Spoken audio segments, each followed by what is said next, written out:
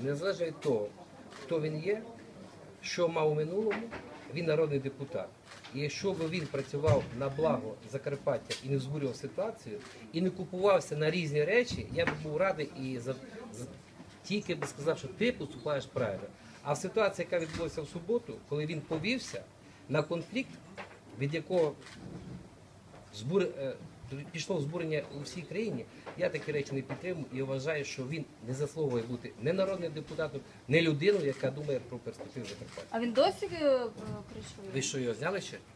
Досі кришує контрабанду?